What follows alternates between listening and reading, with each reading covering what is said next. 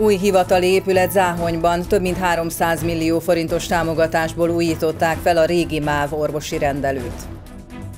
Új bölcsőde Rétközberencsen a Tornyospálcai Református Egyházközség mintegy 27 millió forintból újította fel a település egy régi épületét. Temetőfejlesztés felújított ravattalozót adtak át Fényes Litkém.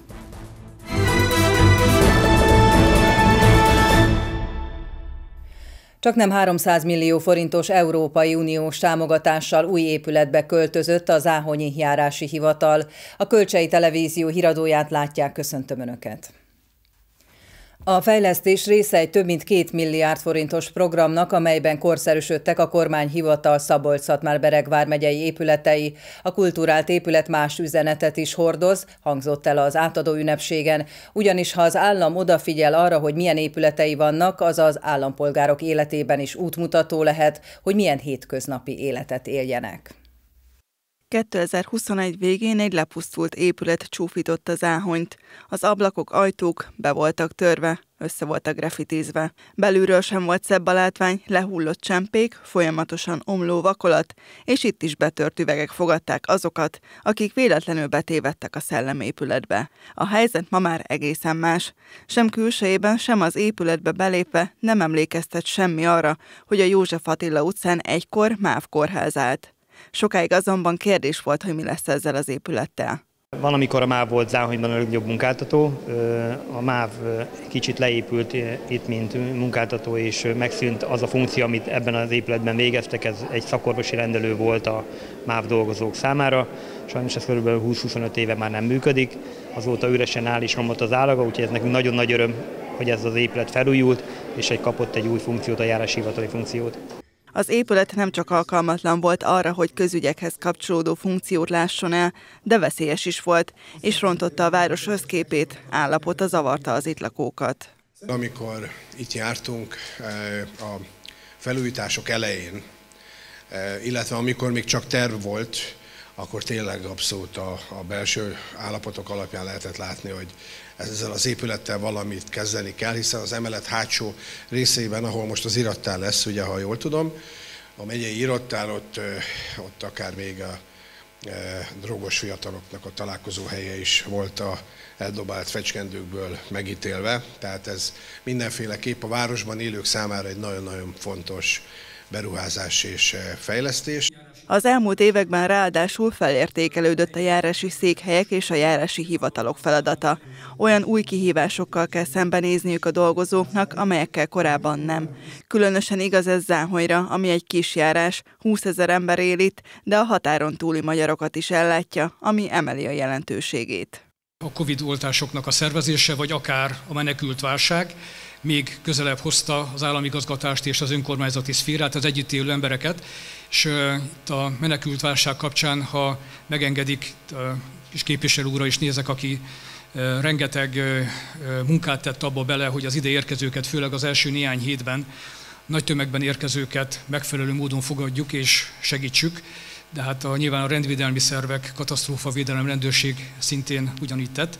Tehát rájuk nézve el kell, hogy mondjam, hogy ez a közös munka, ez közelebb is hozott bennünket. Ez a közös munka azt is jelentette egyúttal, hogy ma már félszavakból megértjük egymást, és hogyha össze kell dolgoznunk, lásd egy járási hivatal bővítése, megépítése kapcsán, akkor könnyen megtaláljuk egymással a hangot. A közigazgatás mindenek előtt az emberek hétköznapi életének támasza, ez pedig akkor válik igazán észrevehetővé, amikor válság van, és emberek tudatjainak, netán ezreinek hétköznapi élete kérdőjeleződik meg. Erről Navracsics Tibor beszélt. A miniszter hozzátette, a közigazgatásnak más feladata is van komoly versenyképességi tényező is, hiszen az, hogy milyen színvonalon tudja kiszolgálni az embereket, milyen gyorsasággal, milyen tárgyi körülmények között, mint itt az épületet is láthatjuk, ez nagyon nagy mértékben meghatározza egy ország közérzetét és versenyképességét is a vállalkozók nyilvánvalóan annál inkább, annál gyorsabban tudják intézni az ügyeiket, annál többet tudnak foglalkozni a saját üzletükkel, minél gördülékenyebb egy közigazgatás és minél professzionálisabb. Éppen ezért a, az épületek felújítása és a tárgyi környezet megújítása is nem csak a jó közérzetet erősíti, hanem egyben a közigazgatás versenyképességét is javítja. A közelmúltban több mint két milliárd forintból korszerűsödtek a kormányhivatal szabolcs bereg vármegyei épületei. Az energetikai fejlesztést 36 ingatlanon hajtották végre, ebből 15 Nyíregyházán, 21 pedig vidéken található. Átadták a bárka bölcsődét Rétközberencsen, az intézményt a Tornyospálcai Református Egyházközség mintegy 27 millió forintból alakította ki. A település első bölcsődéje április elejétől két csoportszobával teljes kihasználtsággal működik. Így néz ki most az egykori leromlott óvoda épület Rétközberencsen, amiből az egyház modern mini bölcsödét alakított ki az általános iskola szomszédságában. A Tornyospálcai Református Egyházközség fenntartásában ez már a 14. mini bölcsőde, így az egyházi fenntartású bölcsödék összesen közel 100 gyermekről gondoskodnak napi szinten. Nagyon fontos volt ennek a bölcsődének a beindítása, hisz én Rétközberencsi születésű vagyok, én itt jártam óvodába, szüleim itt neveltek fel, és valahogy úgy éreztem, hogy kicsit kötelességem a saját falumon is segíteni, és láttuk azt az igényt, amely itt volt a településen, hogy nagyon is sok szülő szeretett volna menni dolgozni, és így tudják a gyereküket ugye elhelyezni a mini bölcsődébe.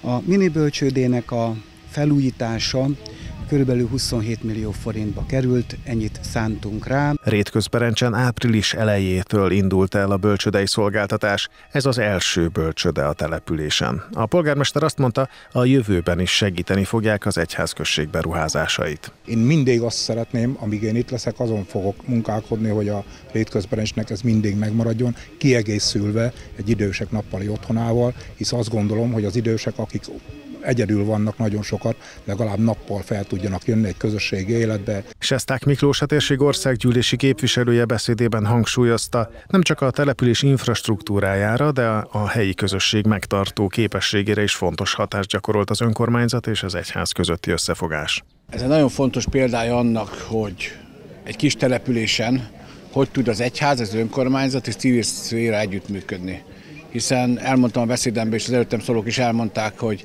ez egy régi önkormányzati óvodaépület volt, ami már halára volt ítélve, és jött egy jó gondolat, jött egy szándék és egy közös akarat, és megvalósult egy 14 férőhelyes minibölcsöde, és ahogy elmondta a polgármester úr is, itt Rétközberencsen nem volt még ilyen, így most már van bölcsőde, óvoda és iskola. Én azt gondolom, minden településnek üzenjük, így kell ezt csinálni. Baracsi Endre beszédében kiemelte, a gyerekek jövőjébe való befektetés az egyik legfontosabb hosszú távú befektetés, amelyre szerinte kiváló példa a Rétközberencsi Bárka mini bölcsőde is. A Vármegyében nagyon sok helyen tudnánk erre példákat mondani, rengeteg bölcsöde, rengeteg óvoda épült vagy újult meg, és ezek mind-mind olyan befektetések, amelyek a legfontosabb befektetések. A beruházás munkahelyeket is teremtett. Az intézmény megnyitása óta öten dolgoznak a bölcsödében, amely jelenleg két csoportszobával, valamint teljes kihasználtsággal működik.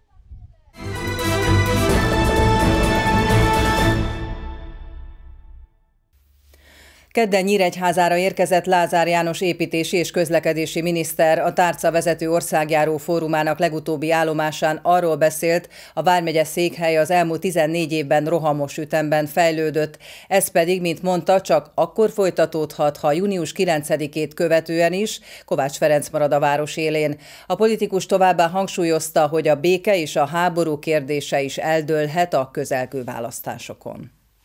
Azt gondoljuk, hogy marakodás vagy gyarapodás a helyben. Országosan pedig valóban az a kérdés, hogy egy olyan világban, amikor a szomszédunkban háború van, egy másik szomszédunkban pedig majdnem megölik a miniszterelnököt, akkor Magyarország hogyan lehet nagyobb biztonságban. Mi azt szeretnénk kérni június 9-én, hogy erősítsék meg a szavazók Orbán Viktort és a Fideszt abban, hogy Magyarország a béke útján maradhasson, és a béke útján jó helyen halad előre. Ez a kérésünk, tehát helyben marakodás vagy gyarapodás, országosan vagy háború és béke.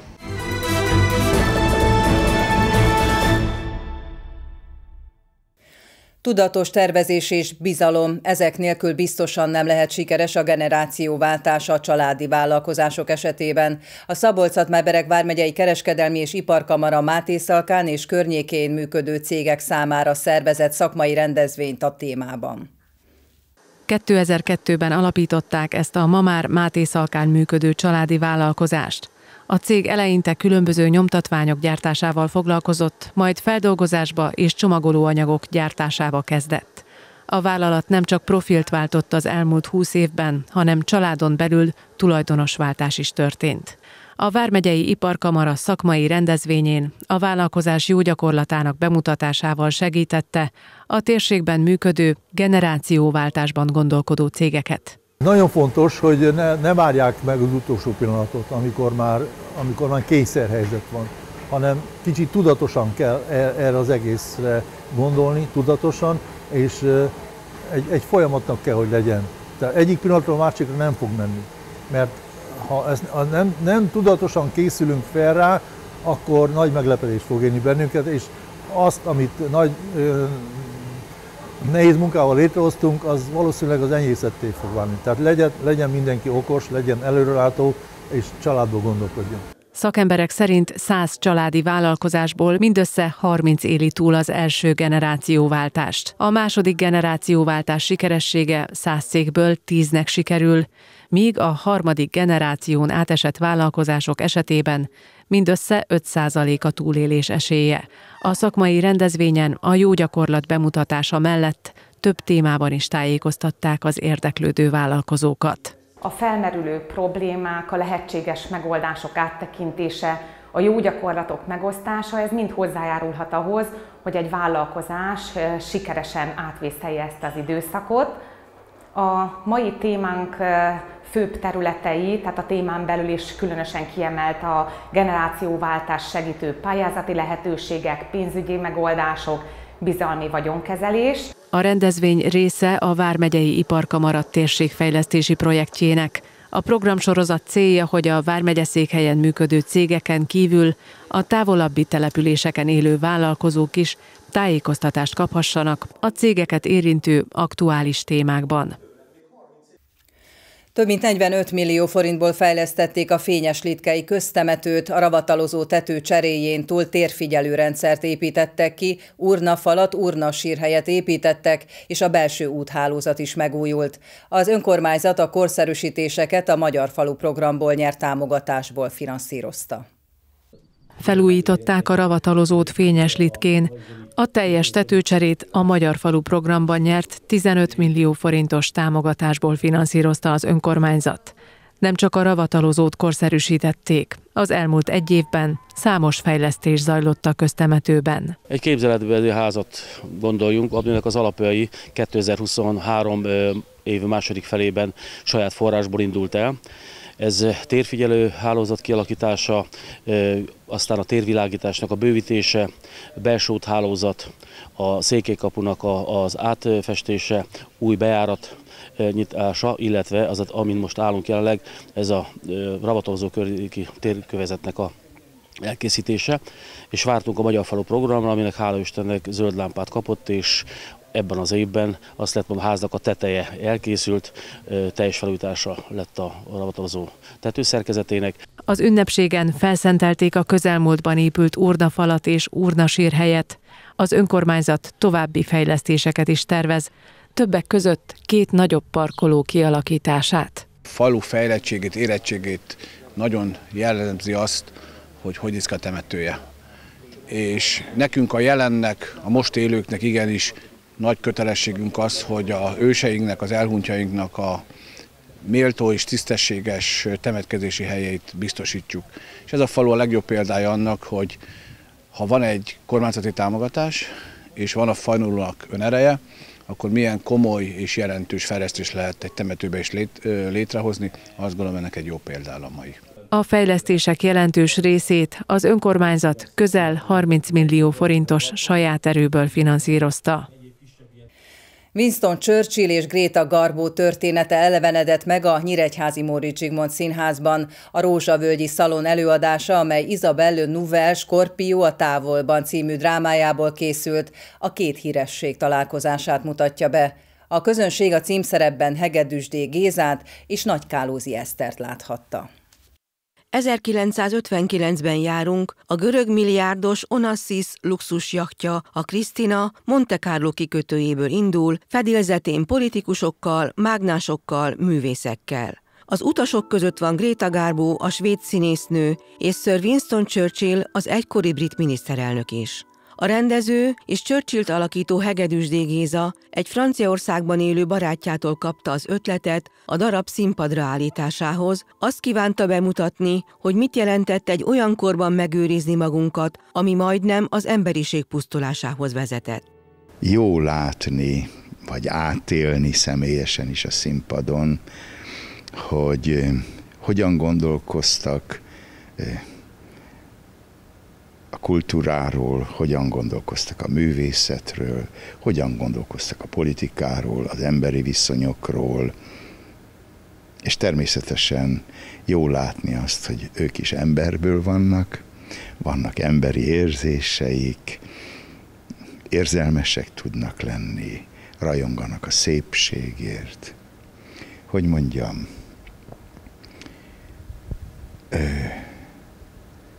a művészet legyőzhetetlenségéről, ha tetszik, egy vallomástétel. A két híresség útja során a kölcsönös csodálat felszíne mögül kilépve mély emberi vallomásokig jut el. Szenvedélyes és szeretetteljes beszélgetések zajlanak két nehéz ember között, akik az életük egy adott közös pontján a legközelebb kerülnek egymáshoz. Gréta Garbó szerepét Nagy Kálózi Eszter formálja meg. Én nagyon-nagyon szeretem ezt az előadást, és nagyon szeretem, ami a két ember között történik ebben a darabban, hogy hogyan hogyan próbálják feltérképezni egymást, és, és hogyan csap össze két intellektus, és hogyan próbálják meggyőzni, vagy megérteni a másikat, és meggyőzni a, a maguk igazáról a másikat. Nagyon érdekes, miközben egy könnyed darab, de azért, azért, azért felkavarja az embert, és, és érint olyan mélységeket, ami, amitől szerintem ez, ez mindig új lendületet ad nek. Vagy én attól szeretem, hogy, hogy van elgondolkodtatni való benne, de mégis van egy kicsi humora, van egy könnyedsége az előadásnak és a darabnak. Churchill, a vén oroszlán és Garbó a titokzatos Sphinx találkozása a tengeren, a darab szerzője szerint mindkettőjüket megváltoztatta, és a hajó kikötése után egészen más emberként léptek újra a szárazföldre.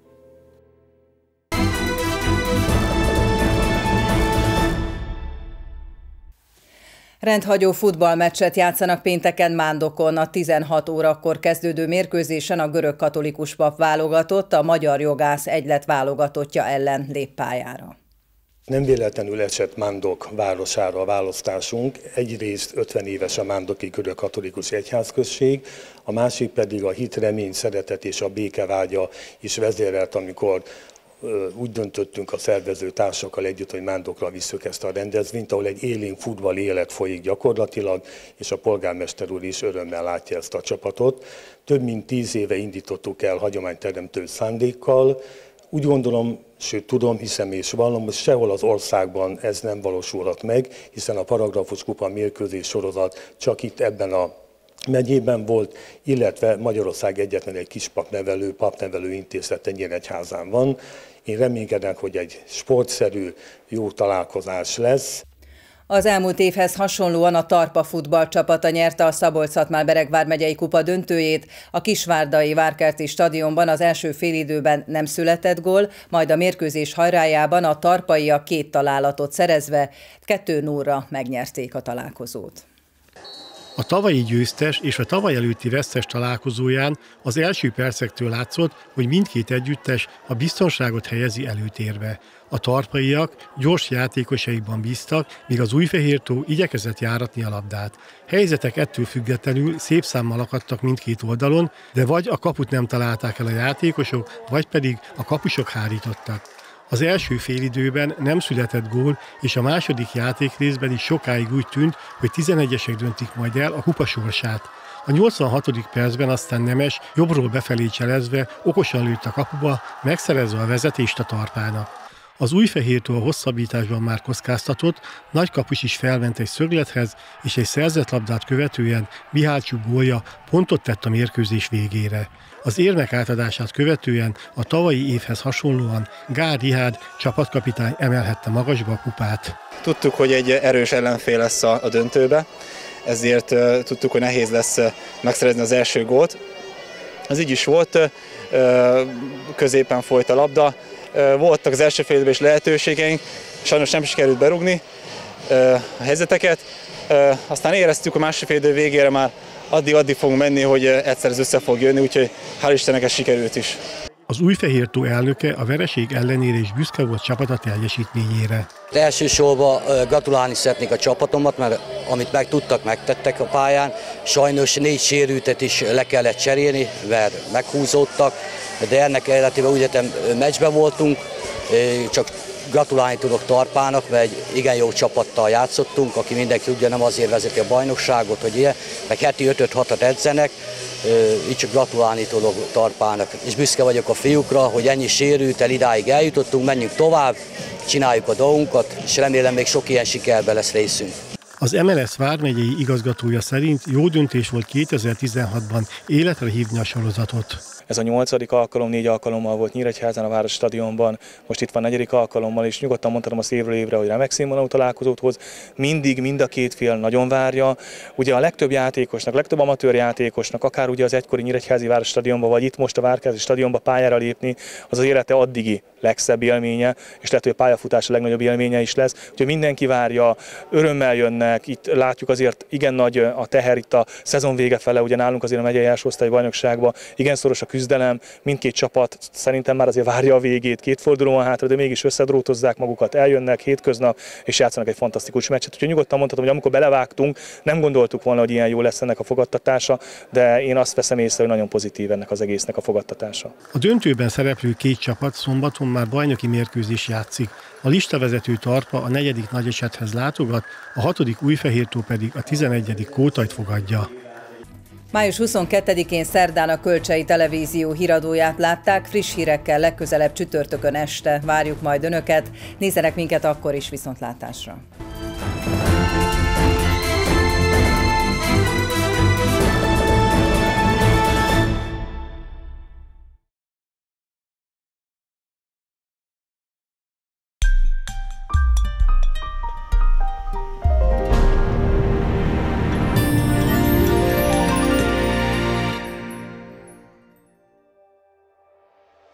Csütörtökön változékony időjárásra van kilátás, a délelőtti órákban még főként napsütés lesz a jellemző, délután viszont már szerte az országban ismét sok felé kialakulnak helyi záporok, zivatargócok. A hőmérséklet maximumai napközben 22 és 26 fok között alakulnak.